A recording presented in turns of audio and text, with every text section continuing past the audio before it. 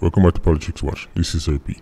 Now, recently I did a video speaking about Dr. Horace Chang saying that they were going to get rid of Klansman once and for all.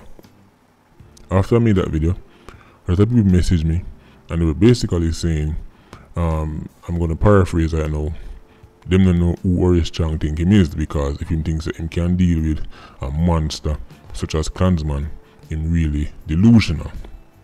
I figured I would jog people's memory and take people back to a time when another gang, another major gang that rivals Klansman in my opinion, decided to say them not take no talk, them too big to get destroyed and nobody can do them nothing.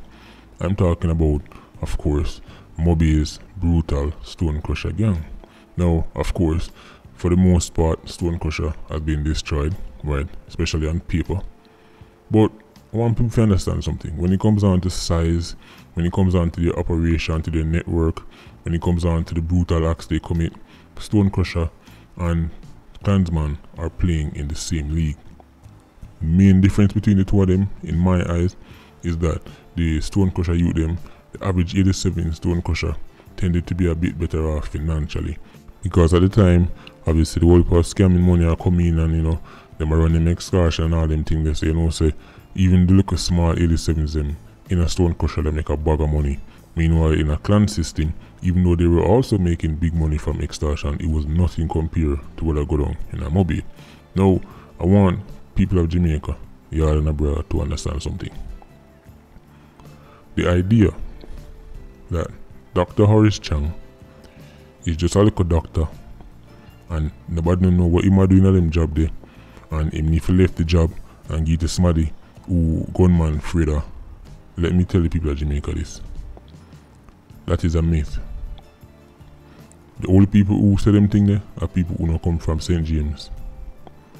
And I must admit, back in the day, even I said the same thing. Other doctor, we might do them job there. And then to make things worse, when you actually see Horace Chang, right, due to his his size and his stature, he's a small framed man, right? He doesn't look like say nobody that afraid of him. So you're thinking to yourself, well, come on, surely why why would he get the role of Minister of National Security? Especially considering that Stone Crusher rise under his watch. Well let me tell you right now. Something happens with Dr. Horace Chang that I don't see him with no other politician when people link me. People whisper when them say Horace Chang name. I don't see that with even Prime Minister Andrew Holness. I don't see that with the leader of the opposition, Peter Phillips. I don't see it. There's no politician that people consistently link me. And when them link me, them have a whisper. I don't. The first time I realized, I thought it was just like the individuals them, but now I realize it's a trend. When Mobay people link me and them mention Dr. Horace Chang name, them whisper. I wonder if people realize, say, Stone Crusher, the monstrous, brutal organization. You know the one who stick off people's head, put it in the square, and then light candle around it, and then nobody can take it up. People have to stand up and watch. Everybody I walk past and I see this almost this this cultish symbol, because that's the only way you can describe it. Right? Take off somebody's head, put it in the road and put kangaroo on it and all them things. That organization that organization grew to become so powerful, so deadly, and so delusional that they thought them could diss and butt up Dr. Horace Chang. I hope you have your coffee. Hope you have your bush tea, your mile, your seriously whatever you drink. You know some people are put on them rice and peas right now. We have to look into this. See, you remember in my video about Doggy's diary, there was a part where he getting some problem with other 87s because it was said that he was threatening while and he try butt up a politician. And other 87s did not take this kindly. Doggy wrote in his diary that he did not threaten the politician. He was trying to clear, which I find I always found that part fascinating. That this big bad wanted gunman was trying so hard to clear up the facts that he never threatened the politician. And in Mobay, other 87s did a pre-doggy, right? And he was under pressure because he was supposedly a violate the big man. I want people to understand something. Whether you name Doggy, or Bigger Crime, or J Bud, or Nevada Hodges, or Bud From, whether you have 20, 30, 40 victims attached to your name, you must understand this very simple fact. The moment you step out of line, pass your place, start to become a headache, start to put MP under pressure, start to put too much spotlight on MP and make too much people ask questions because you know naturally, for example, somebody like Horace Chang who's an MP for an area where have so much stone crusher man back then, people ask the question then oh all of this happen and the MP knows and nothing will be done about it. When you make them kind of pressure the drop on you and MP are try to reach out to you to tell you this and you're not taking the talk, you have to understand the end is near. The end is near no matter how bad you really are. We're talking about an organization at its peak cause not just JCF but JDF one bugger problem. And people were saying, listen, this monster cannot be destroyed. Stone Crusher is simply too big, too rich, too destructive, too connected for anybody stop it. Well, we could see how them end up now. I want people to understand. Between 2006 and 2007, Stone Crusher suffered some devastating losses, some losses that the organization never truly recovered from. So when people say, yeah, but what what they can do so what they can do to a gang like Klansman, you really want to know? Let's go back in time. Because the people of Jamaica must understand that the blueprint is there. The blueprint as to how to stop a beast like a stone crusher or a Klansman, it exists. So it's not like say it's never been done before. The problem is, as usual, Jamaican politicians them wait until the beast fully develop with some 18 inch claws, right, and look like one of them giant silverback gorillas, and then and only then then decide say, oh no, no we can't sit by idly anymore. Oh no, no we can't be seen next to them man anymore. Oh no, no we have to go do something. When Stone Crusher got to that point, Stone Crusher started to see the end. I want people to understand something. Between 2005 and 2007, the gang and its members had gotten to a point where them now take no talk from nobody at all. And don't even bother talk about no police because the gang used to treat police just like how them treat civilians. One big free for all and if them get the call, so if you go film, whether it's police or civilian, them gone. That is how Stone Crusher was operating. Matter of fact, there was an infamous shooting of a policeman, a Sergeant Alan Lindsay. He was driving in his car, right, a marked police car, right, so it's not like to them never know, right. He was driving and the man them target him. He was in his uniform and everything. Stone Crusher man them run down upon him, attack him, took his life. That wasn't enough. They then disarmed him, took his government issued service pistol and his bulletproof vest, right, and went off into the sunset. That's how brazen Stone Crusher was. Of course, the police ended up getting them revenge when they went for the main trigger man behind it, a youth by the name of Damian Vassell, a youth who was a known cop killer. Now, this youth, when the police them go for him, them go find him and couple of the gang members in a money housing scheme, right, down there in Senton. And of course, they don't know, police them say gunshots start for exchange. When the shooting done, you hear the weapon them, with them take off for them, right? They found a 9mm Browning, a 9mm Sig Sauer, and a 38. But it never stopped there so. They found two bulletproof vests. And guess who one of them belonged to? Sergeant Lindsay. Damien Vassell kill the police, take him vest off of him, and then I wear it. That is the level Stone Crusher it get to. But you might be wondering, okay, so what? They might kill out some 87s. What's the big deal? They never stop at 87s either. All of the top man in a stone crusher were wiped out one by one. And I'm not talking about the map. Now, you have heard me talk about Sir D, but another top tier member, somebody who haven't really touched on, was Michael Forbes, aka Lassie. Now, this individual one of the top man in Stone Crusher. You could say he was probably the richest Dan Stone Crusher ever have. When you talk about money, right? None of them did rich, right? Obviously, we don't count nobody pockets and we don't know what nobody really have, but people tell you Michael Lassie Forbes was one of the richest man in a Stone Crusher. But this is what separates a Stone Crusher from a typical gang. In Stone Crusher, the Dan them, the man them who run the thing, still a go on apps like them at 87. For example, in a clansman we have a Tesha or a black man, right, or a Richie. Them man they not really go on the apps, right? Black man, you don't know black man go on a few, but really and truly, when they when they become the Dan Dan, then they really go on no more apps. Stone Crusher, Sir D when they run the thing, gone on apps. Lassie, gone on apps. These men all the money in the world. Them have all the car, all the girls. They had no need do this, but they were so in love with the badness so in love with their city, them couldn't even make it pass. Right? So Michael Lassie Forbes, when he lost his life, that's when people realized uh, the security forces were serious. But it still never stopped there. Cause watch this now, no. All of these gangs have man of foreign I support them. Them have man of foreign I send money, right? I, I send weapons, I give them the links and or, or them call the man them foreign and make them say, yo, we have the link with Asian them now, we have the link with the man them shipping and just send it to them. Rifle and everything come down. Every gang have them big foreign links and normally when police are target gangs they completely ignore the man them have foreign I send money. And even the man then come out here, come enjoy life and then come down for a two, three week vacation, police still pressure them.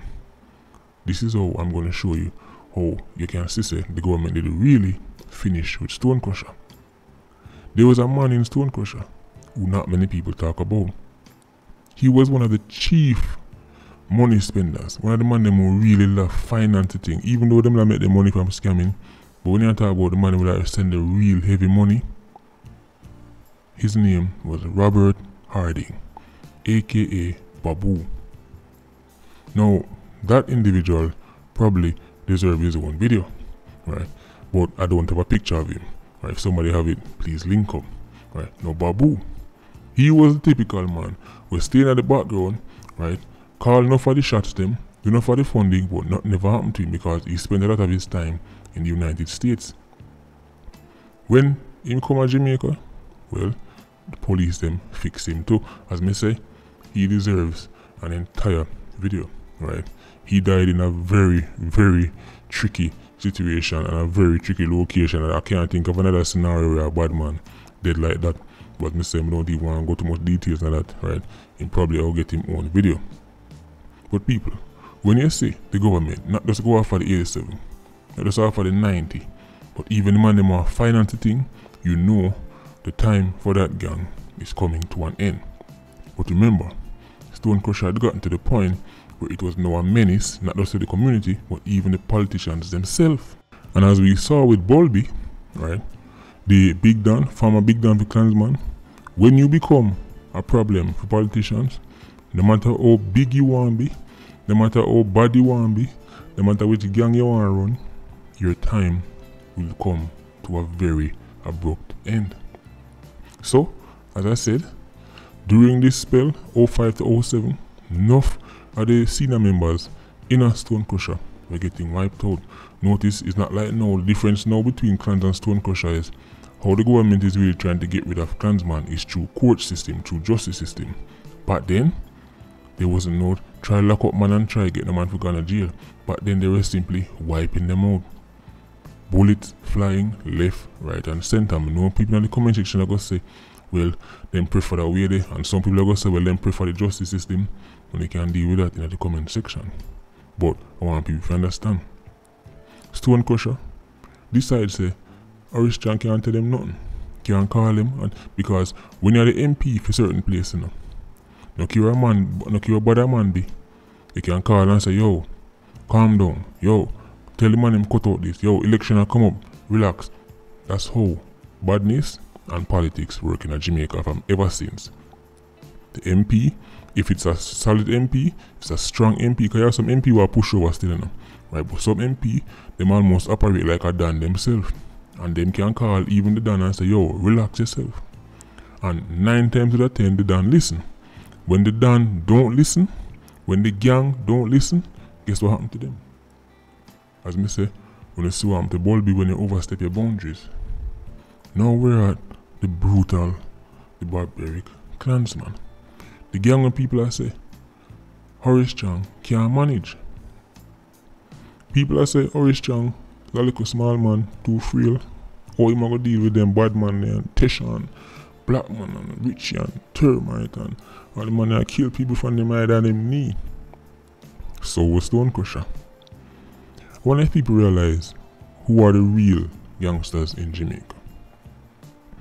Stone Crusher, Clansman, them come and go. The real gangsters in Jamaica wear suit and tie. And them they on your TV screen. And you see when them get this, when them get fed up, that's when gangs start to crumble. Stone Crusher, they learned that the hard way. And now it seems like clans are going to find out the same. Now, one of the reasons why we have to be a bit more skeptical with clans is because Stone Crusher, for the most part, was united, right? So you could get one, get intel from one, get with the next one. Because how you think them keep finding out where them 87 are hideout? At the same thing, we already know who give, who give police the most information, bad man, right? So when them catch the Stone Crusher members, them used to hold on per man for a one gun charge, and them tell them, say, listen, we will fling you for this now, I give you one 10, 15 years. No, we can't tell you where Sir D there. Me can tell you where Damien Vassell, I saw them thing they go. Right? So, Stone Crusher was united, but Clansman is extremely divided. So it's much harder to get information we can affect the whole gang. And remember people, even though we call it Clansman, we know it's split up in various factions, right? Before it was really two main factions, Tesha and Blackman, but now we have a third faction, which is Richie's faction. Because this was split up, it's hard to get one man who will give you information we can hit all three. So the government is not fighting a single battle right so. Then can try go after Blackman side, which is what's coming up in the in the 50 man trial. But them still need to do a separate operation for Tesha faction, a separate operation for Richie faction, and that right there is a real challenge. It's not crushing the gang itself. And plus, the scalp of having clansman and saying you were the one who sink them, that temptation might be too great for anybody to turn down. It's just a shame to it get to this point. Because we're talking about the organization. It's not like the clans about last week. It's not like the clans I mean go missing last month. We're talking about the organization that for at least a good two decade, at least a good two decade, right? If you talk about them real strength, right? When yes, historians out there, we know you can go right back to the late nineties, yes. But we are talking about when people start about clansman, right? About two decades now. Them changed done multiple times. We've seen all kind of 87, some of the most brutal youths the country has ever seen, right? And I know when the monster get to a point where it's splitting a tree, the government will try to crush it. When it was a single united body, for the most part, and it would have been easier to crush the organization government sit down upon them hands, both parties. Sit down upon them and watch the local cub develop into a full grown 600 pound lion. And now them want to go fight it. I don't understand how politics work in Jamaica. When the thing did much smaller and easier to crush, when them let take all orders from one done, and you could have get one and get information from three, four, five, six other man, right? Because the of them are linked. The government was not forcing and fighting fisting clansman. But now that it's split up all about the place, now that's man stop link, and now we're here say, government will get rid of clansman. But the idea that it can't be done, and Horace Chang is a little soft soap where can't tell anybody if they do nothing and the man know, take him serious. I am not so sure about that. So when him come out and make big bold statement, which we're gonna hold him to by the way, because I mean I don't the security minister if you understand saying can come out and make certain statement and make that and, and that slide it's not going to slide. We're gonna remember say you say we're not gonna get rid of clans. And it's fair to assume that when him said that they're planning to start with this clansman 50 man trial, Now, of course, getting with a gang is a slow process, but we're not talking about 20 years slow. Because even though 05 to 07 was when Stone Crusher took a lot of devastating losses, the, the gang was not totally destroyed, right? You still have other it even have done after that, right? Because Elder and Calvert and them man, they take up the thing afterwards. And end up become done as well, but of course by then, Stone Crusher was on the decline. And on paper, the gang is now fully destroyed. On paper. But the reality is, Stone Crusher has a lot of offsprings. Enough organizations that exist now, they were like, as me say, it's like they, they were like the branch, some of the little branch them of a stone crusher that end up become bigger and bigger and stronger. So instead of one giant organization named Stone Crusher, you know, some little smaller groups who, to be honest, just as armed, just as deadly. What are the lessons we can learn from Stone Crusher and apply to St. James, sorry, to St. Catherine and the Klansman? Well, some of the mistakes the government made when they were dealing with Stone Crusher is they focused heavily on the man named who based St. James. They were focusing on the youth them from Hendon and, um, and Glendevon and in place. They were looking at just Mobay badness. They did not treat Stone Crusher like a disease that is spread all over the western parishes. Stone Crusher had expanded into Westmoreland and Hanover and them place right? And they're the same that youth them we go branch off and will help mash up other communities. The same thing now happening with clans. The government cannot afford to just focus on Spanish Town and just look on Lariston and uh, just look on De La Vega, just look on Jones Avenue, Top Banks and them places because like Stone Crusher, Klansman has expanded. Klansman gone in a Portmore, Klansman gone in a Linstead. So to really sink the organization, it has to be an effort that target all of them placed and that is going to be extremely difficult. Difficult but not impossible. If the will and motivation is there, anything can be done. It will take time though, right? As Mr. I wish the security minister would give a timeline as to when, because he said I'm going to get rid of clans, but when, right? So of course we need a timeline. But one people them understand, it can be done. It can be done. It's just a shame that politicians have to wait till they get to the point where them can't control the beast no more. And them realize say the residents or the community or the nation is completely fed up. That's when the time decide say them gonna take action. But make us see what them do. Make us see it turn out. To be honest, people, enough of these little gangs in Jamaica. Them can get crushed. At least your stone crusher, or your clansman, we understand say, alright, these are very large organizations and them very spread out and they're very well funded. But not for the little gang in Jamaica. I think if the government is really motivated, if they were really determined to crush enough of them, they would. And it seems Horace Chang take it upon himself because you know it, it would be a great look on his legacy if he's the one who, who is remembered as the man who oversees the destruction of an organization like Klansman. So make us see if he can put him money or him out there right? From the start my the, the, the main concern i had when i saw dr horace chang get minister of national security wasn't the fact that he was a doctor. I wasn't the fact that he was as people say him small and him little bit. And I mean nothing at all especially when it comes down to politics. Some of some of the most powerful men in history even smaller than horace chang don't know what to do nothing. The biggest concern i had was the fact that stone crusher for the most part rose from the depths to their highest heights under Dr. Horace Chang's eyeball, right under him nose. And when people say, but the old time play with him under my nose, them grow and rise under Horace Chang's nose. So when we see him get national security minister, I thought to myself, well, this is strange, right? Because at the time I remember reasoning people and I said, well, if Horace Chang couldn't manage um, Stone Crusher, how am I going to manage the whole of Jamaica's badness? But when that argument comes up, his supporters normally say, well, he wasn't Minister of National Security back then. He never had the portfolio and he couldn't do simply he couldn't do certain little things. He was an MP. What you want the MP do? That's what people who defend Horace Chang say. Well guess what? Now he's Minister of National Security. Now he now have no excuse. So I believe in giving a man a chance to prove himself. Him say, them a go sink clans, make you see it. And to be honest, I want him to be right. See, this is what people are Jamaican if you understand. You need to put away the little political party bias them to have.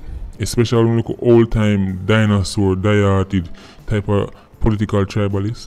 People who wish to see one party fail so for them party can get in. Let me tell you my views before I end this video.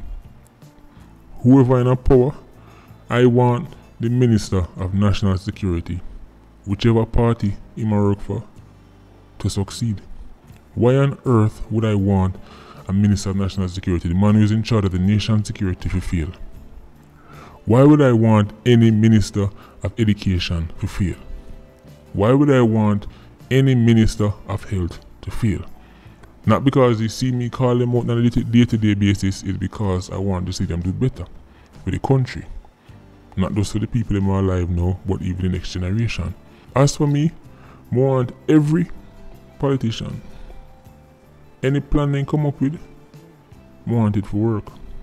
Want it for work for the people of Jamaica. I'm only looking at this from a practical point of view. So guess what? If the next election, PNP win, and the Minister of National Security said, era, we are come up with a new plan called the XYZ plan, then we need for upside work. And if them lose the next election and next man come with it, we need for upside that work too. But at the same time, this is not Hope Zoo. So, we still need checks and balances. That's why the PIA they run. Because we need, if you say, alright, that is your plan, that you are going to do, alright, we are sit down and we are going to watch. And we are going to see if you can back up your statement then. We are going to see if you can follow through. So, before I end the video, let me just say, I love it. When I see a politician come out and make big talk, I love it. Because now, they must go back it up. Right? And I, I prefer I prefer when leaders them are bold. There's nothing like a bold leader we can make the talk and then go follow it up. But as me say, we have to watch and we have to scrutinize. People, we're going through interesting times. See, PNP just get a new leader, Mark Golding.